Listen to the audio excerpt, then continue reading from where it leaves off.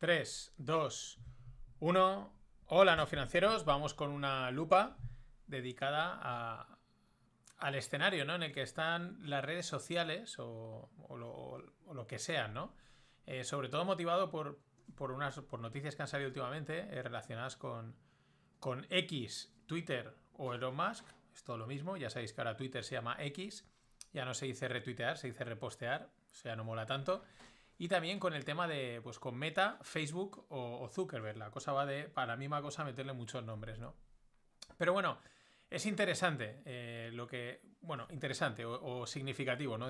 Más que interesante es, mira, está pasando esto y por, por analizarlo y por, por, darle una vuelta, porque creo que es, de, es, importante, ¿no? Es, es de. Eh, ya, ya sabemos, no, no, voy a hablar de, de la super app que quiere crear Elon Musk, al final, cada, cada red social, pues hoy en día está segmentada o en, un tipo de contenido, en la foto, digamos, Instagram, aunque también ha metido vídeos, eh, los vídeos eh, YouTube, eh, también está TikTok en microvídeos, pero también YouTube tiene los shorts y también TikTok cada vez los vídeos pues, que permite son más largos. Tenemos lo que sería mails, pues es tipo, tipo, Substack. Facebook, que no sabemos ya muy bien ni lo que es. Y también, pues, los audios, ¿no? La idea, pues en general, o, hacia lo que busca por lo menos Elon, ya es eh, una aplicación, una app o una, una red social que, lo pueda tener todo que, y, que y que sea usable, en el sentido de que hoy en día ya lo tienen toda, todas y puedes subir un audio en cualquier sitio y un texto en cualquier lado. Pues por ejemplo en, Instagram subes una foto y le metes un texto abajo todo largo que quieras. Pero no es intuitivo leer ahí, ¿no? No, no es como friendly, que se diría, user friendly. Pero bueno, no van por ahí los tiros, ¿vale? Pero tiene algo también que ver con la, con la creación de contenido, ¿no? Una es, una de es aparte de eso, eh, empezando por Musk, eh, de esa línea o, que intuimos hacia dónde él quiere ir, eh, tenemos también mm, que ha metido el, blue check, ¿no? El, pago por tener la certificación y algunas otras funcionalidades. Yo, por ejemplo, lo, lo he contratado, lo tuve durante un mes de prueba no lo usé para lo que quería, pero luego, pues por probar durante un tiempo, eh, pues he pillado el año porque también me permite subir los vídeos, este igual que lo subo a YouTube, pues lo subo a Twitter para ver. Bueno, vamos a ver si, así tira un poquito, si tiene un poquito más de tracción. También es verdad que algo que no, que no gasté en la primera prueba ahora sí que estoy utilizando, que es como es lo de guardar los tweets, es decir, al final cada tweet es una noticia, es una información en carpetas y tenerlo así un poquito, pues los navigators que hago para el club, los finpics, los memes, chorradas, etcétera, ¿no? Y bueno, pues esa funcionalidad vamos a ver si le doy uso de aquí a un año. Y, luego tiene otras funcionalidades, pero a mí esas de momento no me interesan. Es verdad que creo que si llegas a un número de usuarios, y esto también tiene que ver con el, tema de hoy, eh, de, seguidores, entras en el programa de, publicidad, ¿no? Y como entras en el programa de publicidad, eh, creo que recibes una parte de ingresos de, lo que generen tus tweets, ¿no? Eh, también te permite crear suscripciones dentro de, de, perdón, de Twitter, ¿no? Es decir, que la gente pague por un contenido tuyo exclusivo dentro de Twitter, ¿no? Esto es algo ya eh, que han adoptado las redes sociales, como por ejemplo eh, Instagram también lo permite ya, eh, y, Facebook no sé también, y, YouTube también, ¿no? El, que tú dentro de sus propias plataformas creas un, una suscripción, la gente te paga y tiene acceso a un contenido extra, ¿no? Mm, claro, ahí es donde está un poco eh, por dónde van los tiros, ¿no? Pero ahora luego entraremos un poco, entraré en la parte esta de, la pasta, ¿no? ¿Cuál es la noticia que salía eh, pues la semana pasada y que, y que bueno, mm, llama la atención, ¿no? O es que eh, Elon Musk estaría considerando geobloquear Twitter en Europa, es decir, en pocas palabras, banearlo en Europa, para así poder cumplir con, con la DSA, con la, con la ley de servicios digitales que va a lanzar Europa y que, eh, pues, pues bueno, eh, prácticamente eso, quitaría Twitter de aquí. Mm, ¿Qué es lo que pasa? Pues que aparte de, de, lo más, de eso, del cambio que os decía el blue check, de, permitir el... De, intentar llevar la red hacia una super app, eh, pues otra de las cosas que ha permitido es el discurso libre. Vale. Libre, entre comillas, ¿vale? Al final eh, no puede haber un discurso libre porque si no, pues te entra eh, eh, mm, pues discurso, ¿no? O, comentarios homófobos, violentos, yo qué sé, todos los O que haya, todos los homo no sé qué, o todos los, vamos, pero realmente, ¿no? el problema que hay ahí es que, pues lo que empieza siendo una línea muy clara, que es lo que ha pasado hasta ahora, de, de, pues, de comentarios que sean violentos, que atenten contra la integridad de la gente, etcétera, que es muy claro, pues poco a poquito esa línea la van moviendo, la van moviendo, la van moviendo, la van moviendo, y al final cualquier cosa que dices que no va con el mainstream ya es, ya es considerada eh, censable, ¿no? Ya, ya se puede, eh, ya se puede, no, censable, no, censurable, ¿no? Ya decía yo, eh, ya se puede censurar, ¿no? ¿Qué es lo que ha pasado? Elon ha vuelto a, quitar esa línea, la ha vuelto a tirar otra vez hacia, digamos, hacia la derecha, pero sigue habiendo censura, es lógico, ¿no? Tiene que haber, porque si no sería, podría dar hasta miedo, ¿no? Pero es una línea siempre complicada. la conclusión es que hay discurso libre, ¿vale? Free speech, y aquí la gente vuelve a decir un poco lo que quiere, como quiere, y ya está. Eso no quiere decir que no se lleven algún, algún ban de vez en cuando. Eso, pues no le gusta a los estados y pues la Unión Europea le está metiendo mucho, está viendo ahí como, porque no le molesta, ¿no? A la Unión Europea y a Estados Unidos probablemente también. Recordad que cuando Elon Musk compró Twitter y empezó a sacar los papeles de los cajones, pues salieron bastantes eh, documentos que certificaban pues como la injerencia de los de, no sé era de la campaña de Biden pero también era de la, de Trump habían sacado de los dos en Twitter no de directamente hablar con el responsable de contenido de censura o lo que sea de Twitter decirle mira estos hashtags este tipo de comentarios me los borras todos de esto no quiero que se hable de mí no y los otros encantados no pues siempre es lógico, las redes sociales tienen poder, tienen un poder de influencia muy fuerte y los estados eso les encanta. Y es normal que haya ahí ese tiraflojas una cierta connivencia. La clave es que no se vaya de madre, ¿no? Pero claro, con Elon Musk, pues da la sensación de que eso se puede ir de madre y le intentan meter eh, mano. De ahí que eh, pues pueda, lo cual también sería, pues bueno, mm, sería llamativo, ¿no? Que, llegase a, toda una región como Europa a decir, pues ahora eh, ahí no podéis utilizar Twitter. En China están acostumbrados a estas cosas, así que ya nos explicarán cómo van, cómo, cómo es, porque vamos cada vez más al modelo chino de, capital comunismo o como lo queramos llamar, ¿no? Pero, eh, claro, también ahí hay otro, otro tema interesante, ¿no? Si metes demasiada censura, al final las redes sociales se vuelven algo aburrido en la que solo hablan un tipo de gente con un tipo de contenido y pues para eso, pues para eso la gente no entra, ¿no? Eh, bueno, ahí, ahí, es donde está una de las peleas, ¿no? En cuanto a la generación de contenido, atraer tráfico, atraer gente y también la protección de datos, que ahora veremos con Meta eh, pues el, que, también tiene, ¿no? Es la otra razón por la que, por la que hoy voy a hablar de, Meta, ¿no? Eh, por rematar con Twitter y recordarlo, o con X, eh, pues eh, han cambiado su política de, interés público, ¿no? Es decir, como el objetivo social o que tiene Twitter es que New Worthiness, ¿no? para hacer un poco contrapunto a los medios de comunicación y para dar voz a, noticias, pero contadas en primera persona, ¿no?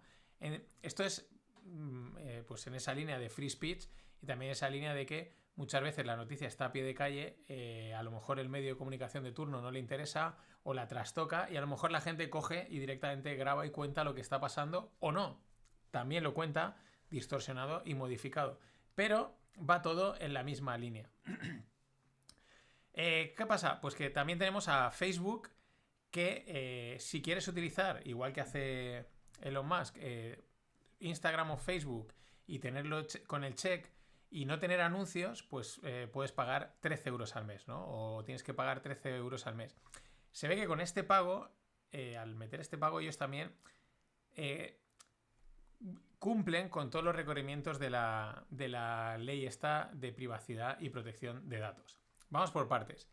Lo de pagar por que no te pongan publicidad, pues es algo bastante de extorsión, ¿no? Yo te, bombardeo con publicidad o te está, te está dando mucha caña. Es verdad que luego, pues tú pagas por no tener publicidad, pero luego te comes publicidad. No lo digo a lo mejor por, por Twitter o, Instagram o Facebook ahora mismo, sino por, eh, pues por ejemplo, eh, Movistar. Pues tú Movistar estás pagando una suscripción para tener la, la tele y te meten publicidad, pero a cascoporro, pero en la propia aplicación. O sea, es una cosa que es acojonante, ¿no? Eh, lo mismo se comentaba el otro día en Twitter, alguien comentaba de los periódicos, ¿no? Los periódicos que casi todos, todos hoy en día tienen el paywall y la barrera de pago, pues estamos en lo mismo, te, llenan un montón de publicidad, te hacen ahí, la, usabilidad es una mierda, y dices, joder, entonces, ¿para qué estoy pagando? O sea, estoy pagando para leer, pero encima me, me cargas de publicidad, ¿no? Al final, eh, claro, mm, es que si tengo tres líneas de negocio, pues ahora explicaré, pero pues oye, pues voy a intentar sacar rentabilidad a las tres, no me obligues a quedarme solo con una. Por tres líneas de negocio me refiero a que el usuario me pague, a que me paguen los publicistas y luego la gestión de los datos, ¿no? Y aquí entro con la otra parte muy interesante que comentaba, comentan en Marketing for Commerce, pero también comenta J. García Carrero desde Twitter, eh, de cómo, eh, pues también esto de implementar en Meta y en Facebook el pago iría en vías de el tema de la protección de datos, de cumplir la protección de datos y decir, vale, ya está, no tenemos problema. Por lo que yo entiendo, ¿no? O sea, un poco, eh, porque es un poco lenguaje más, hay que entender a lo mejor de privacidad de datos, ¿no? Es como que si tú entras en, la, en, cualquier web o en cualquier sitio, o por ejemplo en una red social, pues al final le das, vale, sí, venga, para adelante, venga, eh, déjame utilizarlo, ¿no? Y ahí estás dando una serie de permisos. Pero claro, ahí en ese caso, pues a lo mejor eh, la Unión Europea puede cada vez ponerse más pejiguera, ¿no? En ese sentido, no, no, eso no me vale. Tienes que decírselo explícitamente, tienes que enviarle un correo, tienes que. Y si no lo haces, el usuario no puede utilizar, ¿no? Entonces al final eso quita a mucha gente de que utilice tu, tu, red, tu aplicación o, el servicio digital que sea. De hecho, hoy en día, pues la gran mayoría hace mil trampas porque es que si no es totalmente inviable. De hecho, toda la, cumplir con la regulación de datos en todos los temas digitales, pues es algo eh, bueno, que va contra el sentido común, contra la usabilidad, contra que las cosas sean fáciles, sencillas y, y que haya negocio, ¿no? Pero claro, yo entiendo que a lo mejor en el momento estás pagando, pues es como que ya, a lo mejor te has leído, ya hay como, como que le han metido una capa más de, validación a que, oye, eh, ahora sí, como has pagado, ya esto es otra historia, ¿no? Ese es hacia dónde, hacia dónde apuntan los tiros de, estas noticias que también me parecen interesantes. Claro, la otro, el otro planteamiento que, hacía, que hace García Herrero es decir, oye, eh, tú me... Dice, oye, encima de que te pago, encima vas a vender mis datos, ¿no? O sea, que es un poco lo mismo. O sea, encima de que te pago, encima me metes publicidad. Pero es que al final, eh, pues no me. Si tengo tres líneas de negocio, no me capes dos de las tres, ¿no? No te quedes con que como me pagas ya, ni te meto puli, ni te vendo tus datos, ¿no? Que al final se trata de, pues, de explotar al máximo esto. También, ¿qué sucede, no? Y, y en, pues que esto se ha segmentado muchísimo.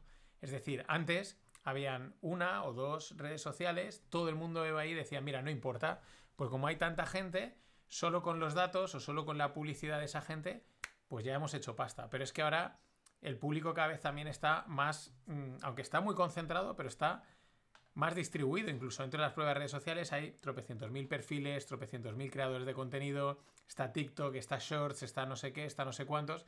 Se distribuye y entonces ese negocio de escala, de volumen de datos, y de volumen de gente para la publicidad ya no, ya no es tan rentable por unidades, ¿no? Eh, quiero, por unidades. Sigue siendo muy rentable, pero ya no es tanto, ¿no? Y ahí es donde está eh, en parte la batalla, ¿no? O hacia dónde parece que están intentando mover todo esto. En resumen, ¿no? O sea, el cóctel que hay ahora mismo en las redes sociales es, uno, explotar el negocio, o sea, sacar euros de todos los rincones, ya he dicho. Si el usuario me puede pagar por utilizar internet, por utilizar la red social, mejor. Eh, si además le puedo meter publicidad hasta en la sopa, mejor. Y si además puedo vender todos sus datos, mejor porque estoy maximizando el negocio, ¿no? Claro, al mismo tiempo tienen otro problema las redes sociales, que es un modelo que está saturado de contenido. ¿Por qué? Pues porque hay tropecientos mil creadores de contenido y esos creadores al final empiezan a darse cuenta de decir, oye, yo te estoy eh, llenando de contenido, estoy generándote tráfico y tú a mí no me das nada o me da poquísimo, ¿no? Y al final, oye, que yo te estoy aportando mucho aquí. Eh, claro, eh, la red social puede decir, estás aportando, o sea, yo te pongo la plataforma y gracias a eso tú ganas pasta. Pero ese tira floja ya está ahí, ¿no? Entre me pagas poco, me das pocas cosas, yo me tengo que generar todo el negocio a través de links, de, negocio, de, de, lo que sea, y como que unos se sienten explotados y los otros pues están también sacándole mucho partido, ¿no? Claro, esos, los creadores de contenido empiezan a pedir una parte mayor del pastel porque también empiezan a tener importancia en las redes sociales. Y si no, ¿qué hacen? Pues empiezan algunos a intentar buscar sus alternativas, ¿no? A crearse su comunidad privada, su... a irse, ¿no? A llevarse a su público a un sitio en el que están ellos y no están eh, y no dependen de, que, de la política de privacidad de Google, de Meta o de quien sea, ¿no? Hay un tirafloja bastante, eh, pues bastante tenso. Eh, luego metemos los temas legales y los tratamientos de datos, que ya digo, hacen que muchos negocios y servicios de Internet pues sean o inviables o menos negocio o vamos, o sean, bueno, que sean una auténtica dolor mm, a la hora de la usabilidad, ¿no? Porque tienes que chequear mil cosas, ¿no? Eh, entonces, por eso yo creo que el resultado que estamos viendo últimamente son estos giros de guion, ¿no? Estos cambios de política, estas ideas que muchas veces parecen sacadas de, chistera, ¿no? Y ahora, ¿por qué hace esto? Y ahora, este, y ahora dicen que van a meter, y ahora que van a cobrar por esto, y ahora que van a hacer esta otra cosa, ¿no? Y están intentando encajar todo, todas estas piezas, ¿no? Protección de datos, usabilidad, el contenido, el tráfico, eh, rascar dinero, la publicidad. Están ahí viendo cómo lo encajan, donde en un sitio en el que cada vez hay más competencia, tanto entre redes sociales como dentro de cada red social, entre las marcas y los creadores de contenido o los usuarios, porque muchas veces, porque la mayoría de los usuarios, aunque no vivan de eso, son creadores de contenido, ¿no? Claro, ¿cuál es eh, ya la situación o hacia dónde les encantaría llevar? Pero claro, ahora es un poco complicado. Pues que nos han acostumbrado a, todo gratis, a un Internet salvaje donde haces lo que quieres como quieres, consumes lo que quieres donde quieres como quieres sin pagar ni un euro. Y claro, ahora intentan, o intentamos muchos también, pero sobre todo ahora, sobre todo ahora lo vemos en las grandes, eh, intentan mover, intentan decir, oye, págame por lo que antes, por lo que has estado durante muchísimo tiempo no, no pagando. Claro, la fricción es enorme para conseguirlo que tienen que hacer trampas y pullas y te meto publicidad y te meto historias para que al final acabes pagando. Pero están intentando pivotar el modelo a un Internet que sea más de pago, donde se pague prácticamente con todo. También por esa misma razón, al, por lo que decía, ¿no? Al, segmentarse mucho los públicos, ya no es tan rentable. Ya la rentabilidad empieza a aparecer si los cuatro, eh, entre comillas, seguidores que tienes pagan, ¿no? Y no estoy refiriéndome a pequeños creadores de contenido como soy yo, sino ya cosas un poquito más grandes, ¿no? Entonces, ahí están, en ese tiraflojas, ese quizás punto de inflexión o punto de cambio, eh, es donde se encuentran las redes sociales y, bueno, es interesante seguir y ver dónde van, dónde van, dónde van a llevar tanto Zuckerberg como Musk o los de Google eh, toda esta historia. Nada más. Mañana más.